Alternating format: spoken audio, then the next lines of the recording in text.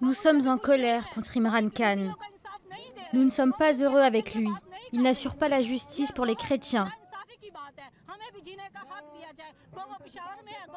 Il n'en parle même pas. C'est injuste. Nous avons le droit de vivre, et ce partout au Pakistan.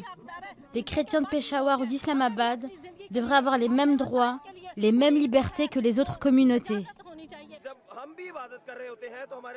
Quand nous prions à l'église, nous ne bénéficions d'aucune protection. Nous demandons au gouvernement d'assurer notre sécurité.